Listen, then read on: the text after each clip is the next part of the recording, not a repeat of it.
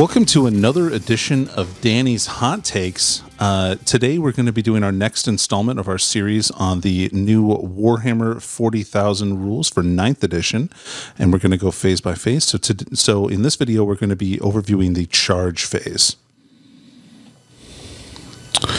All right.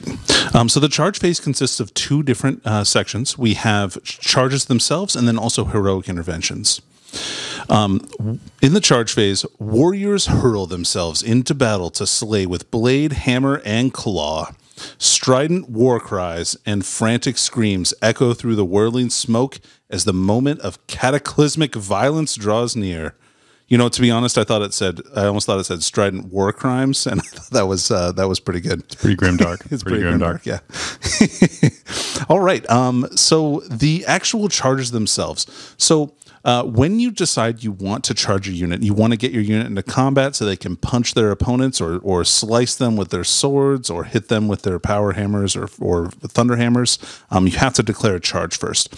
So you pick a unit uh, to charge, and the eligible unit has to be within 12 inches of an enemy unit at the start of the charge phase, unless they have a rule that states otherwise. Um, units that have advanced or fallen back are not able to declare charges during the charge phase. You also can't charge if you're already in, in engagement range. Um, because if you're already fighting somebody or already in close combat, you're not going to be able to charge away and fight somebody else. You gotta you gotta stick with that dance partner, folks. Um, and so, uh, if you don't have any units that that you want to charge with, you can move right on to heroic interventions. You don't have to uh, you don't have to uh, keep doing charges forever, in, in you know uh, ad nauseum into infinity and beyond. Correct. And no unit can be selected to charge more than once each charge phase. They can only charge once, again, unless a rule lets them uh, charge more than one time during the charge phase. Uh, once all of your uh, eligible units that you wish to charge with have declared a charge and have done so, uh, then you can proceed to the heroic interventions phase. Um, so again, select a unit to charge with, charge with that unit.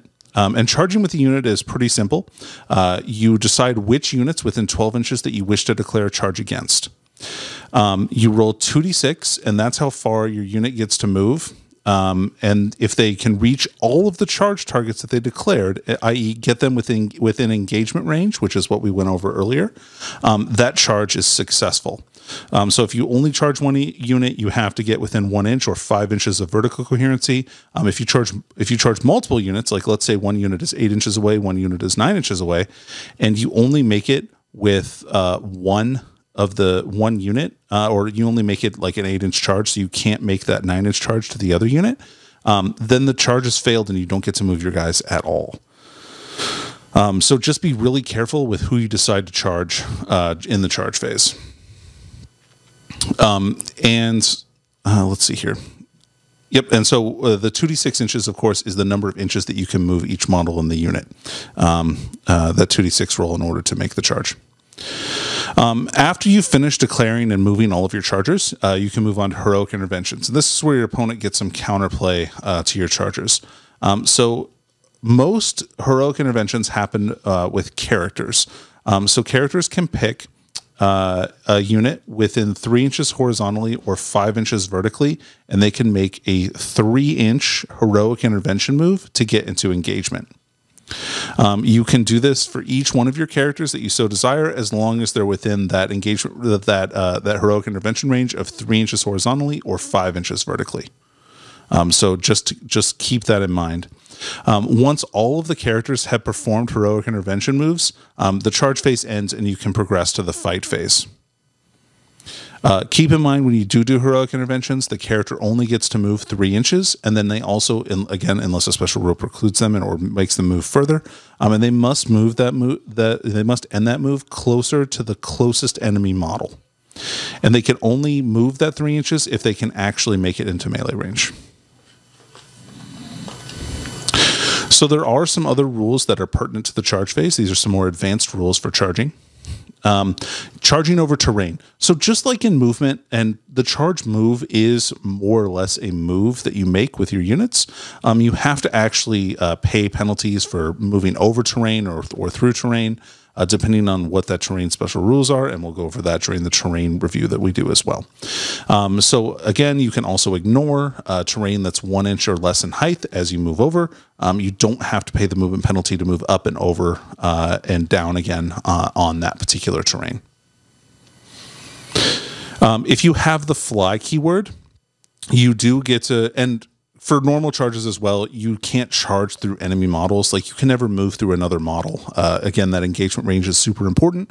Um, unless you have the fly keyword or another or another rule that lets you do this. Um, when you move your chargers, and they have the fly keyword, you do get to ignore uh, other models and terrain. Um, so you get to ignore vertical distance, just like a uh, oh, sorry, not vertical distance, just models, uh, uh, just models. Uh, and they and they have to move over terrain features just like normal.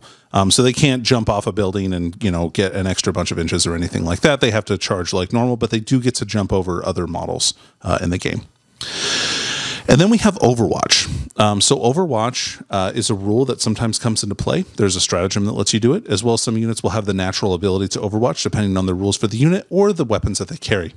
Uh, if you get to Overwatch, um, uh, as the enemy charges you, you get to fire at them as they as they charge headlong into combat. Um, so when that happens, uh, the units or unit that is charged gets to make a shooting attack. However, they only ever hit on sixes, regardless of any hit modifiers. Um, you don't get any. again, unless again, unless a special rule precludes that, and they get to hit on fives or something even better. Um, you hit on sixes. Um, there's no, you don't get to use your ballistic skill. Only the six will, only the six will actually hit. And that concludes the charge phase.